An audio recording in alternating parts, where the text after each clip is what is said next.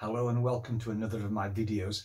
Uh, what I'm looking to do today is to cover something that you might find yourself doing on a fairly regular basis and that is to try to make mental arithmetic simpler by rounding numbers and estimating answers.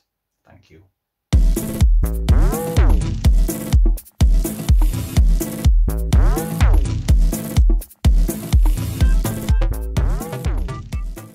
We're going to start today by going to a supermarket. So you get there, you pick up your trolley, you've maybe got a friend, maybe you've got a child. You get in there, it's very busy, the music's playing, lots of noise.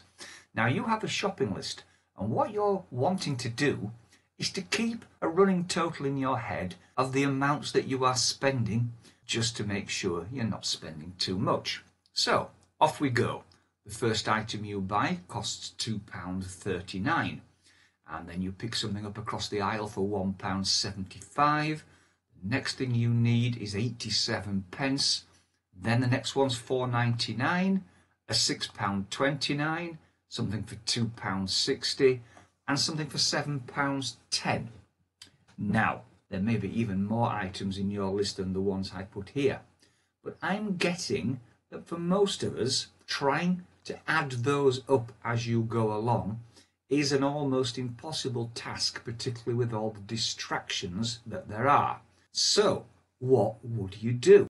Well, if you're like me, rather than trying to be exact about your adding up and trying to take into account the exact prices of all these items, you might just think to yourself, well, let's just make an approximation of each of these prices. So as I pick the first thing up, I maybe will just say, okay, let's just call that £2. The next thing is £1.75. Okay, I'm going to call that £2. 87p, yeah, that's about a pound. £4.99, well, that really is very close to £5. The next one, £6.29. Let's just call that 6. £2.60. Let's call that 3 and £7.10, well, let's just call that 7. Now, by doing so, as you've gone along in your head, possibly it has been easier to add up 2, 4, 5, plus 5 is 10, 16, 17, 18, 19, and 7 is 26 pounds. So you think, I've spent about 26 pounds. And in fact, if you add up the exact amounts, in this case, they come to £25.99. So you have given yourself a very good idea of how much you are going to spend. So what have you actually done? Well, as you've picked each item up, you've looked at the amount, in this one £2.39, and you have rounded it. You have taken the price and you have rounded it, in this case, to the nearest pound.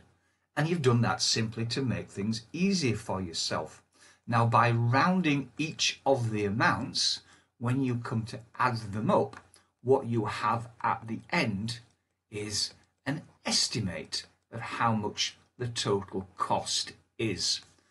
And rounding and estimation are two things that work hand in hand together. Now, because this is a maths class and not a shopping trip, obviously we have to have rules. So we need to look at the rules of how we round. I'm going to use the first example here of £2.39. Now, the first thing you have to decide is how accurately you want to round this.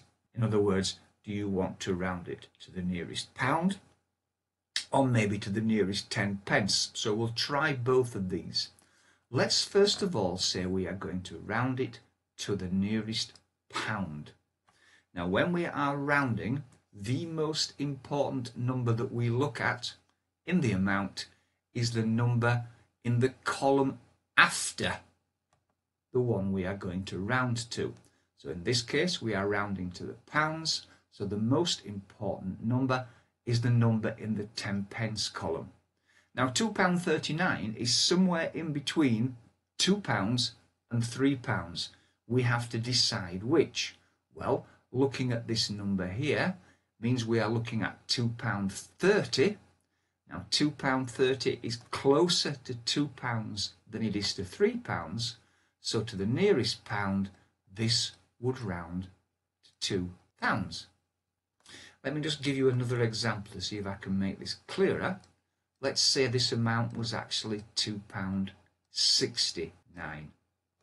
Now again, we're going to round to the nearest pound. Again, the pound column is here.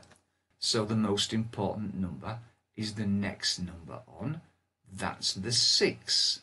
Now in this case, 60 is closer to £3 than it is to £2. So in this case, we would round £2.69 up to £3. You might have spotted that I have taken absolutely no notice of the fact that there is a 9, a big number, on the end of each of these amounts. Because the fact is, once you have decided which number is the important one, you can literally cross out any other number after it. We are only interested in these two digits here, the one that you are rounding to and the next one on that gives us the guidance. So let's have a look at some more amounts. Okay, I won't put the pound sign on the beginning of them all, but let's say we have five pounds 20, six pounds 49, three pounds 91, no pounds 42, and three pounds 50. Now, we need to round these to the nearest pound in each case. So, the numbers that we are going to consider is always going to be the next digit on. That never changes. And in fact, I'm so sure about that, I can even cross these out if I like. They just do not matter. Let's have a look at this. £5.20. It's between £5 and £6. This is a 2. £5.20 is closer to £5 than it is to 6, so that's where we round it. £6 is between 6 and £7. It's £6 40, a 4. That means it's closer to £6 than it is to 7. So there we go, £6. £3.90. 9 is a big number. That makes it closer to £4 than it does to 3. So we round that one up. Now then, here's an interesting one. If this was your shopping trip and you bought something for 42p, where do you round it to? Well, follow the rule. We have naught pounds here, so 42p means it is something between no pounds and one pound. Because it is a four, it is actually, strange though this might seem, closer to no pounds than it is to one. So when we are rounding it, we actually round it down to nothing. Now here's the important one. Three pounds fifty.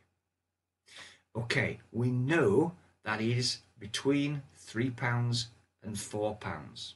The problem is that five fifty is exactly halfway between three pounds and four pounds. So do we go up or do we go down? Well, the simple rule is, and it's one to remember, is that when it is a five, we go up always. So the amount would be four pounds.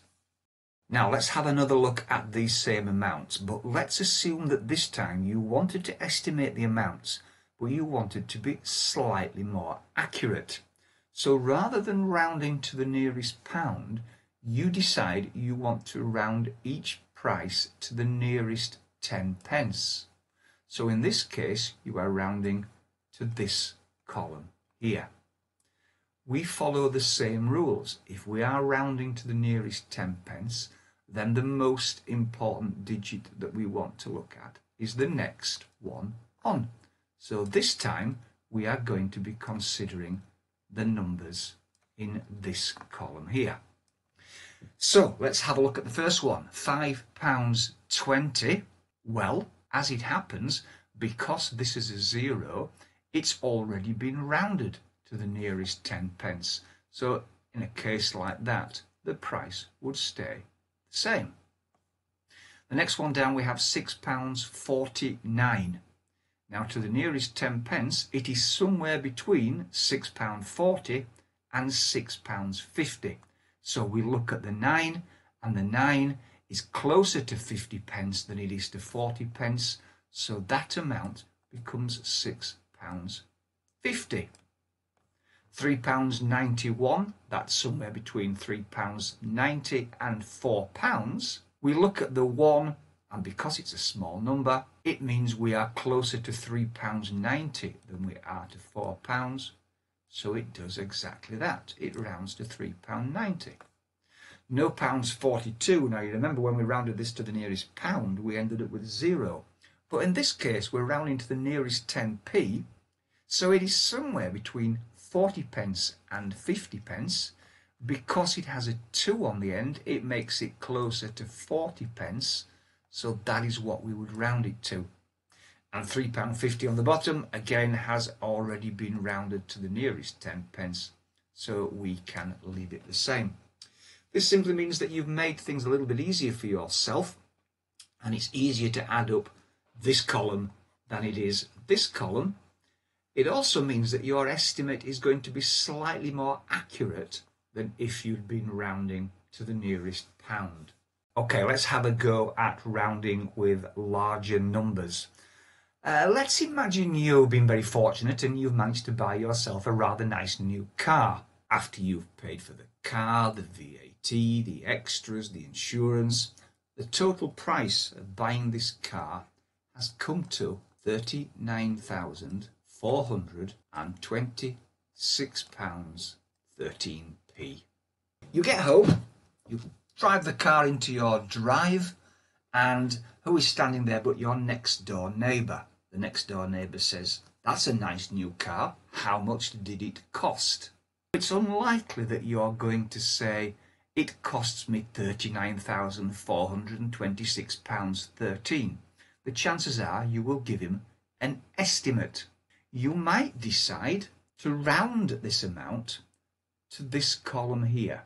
This is your ten thousands column. You think in your mind, okay, this cost 39,000. I'm going to give my neighbour the price to the nearest 10,000. Therefore, I need to consider that number there. And it is a 9. Big number.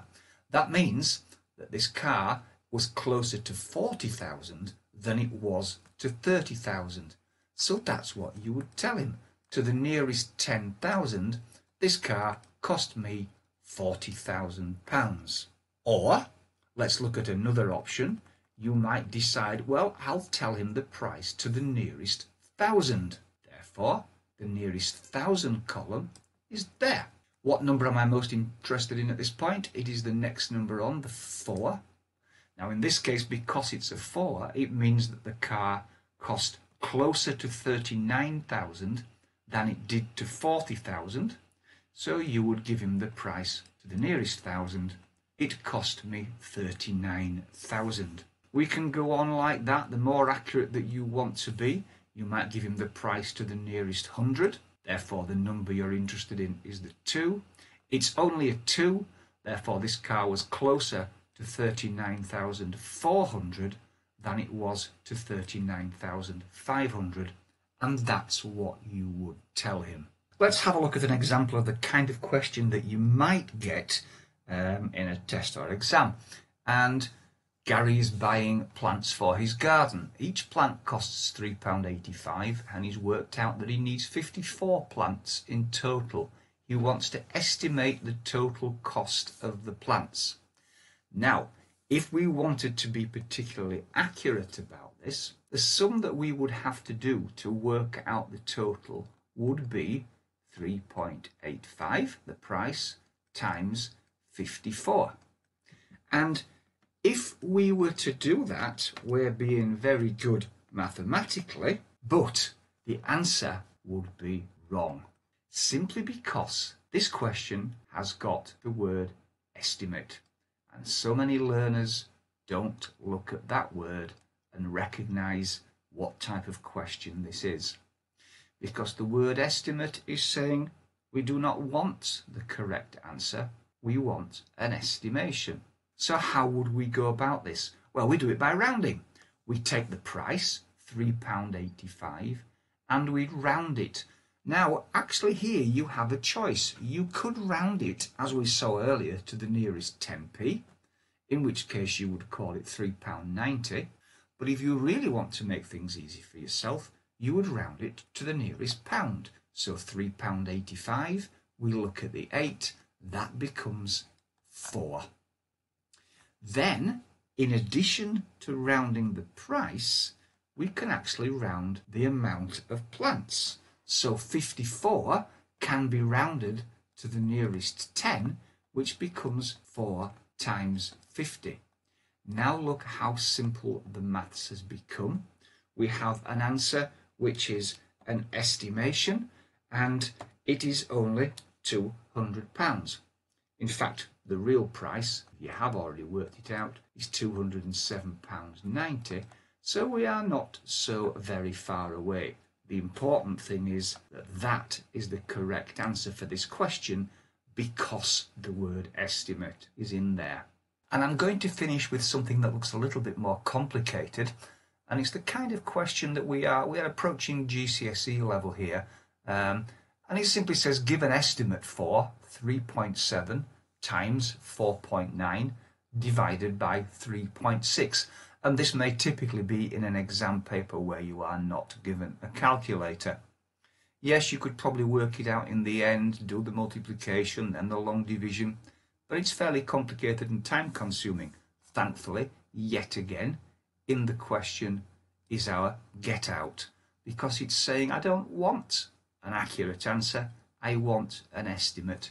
So you would take each of these numbers, 3.7 to the nearest whole number is 4. You would take 4.9 to the nearest whole number is 5. And you would take 3.6 and round it to 4. And you would simply work out the answer to that. And that would be an estimate. And because that's what you're asked for, you get full marks. And that's it for the moment for rounding an estimation. Uh, I hope I've made it easy for you the next time you go supermarket shopping. Thank you.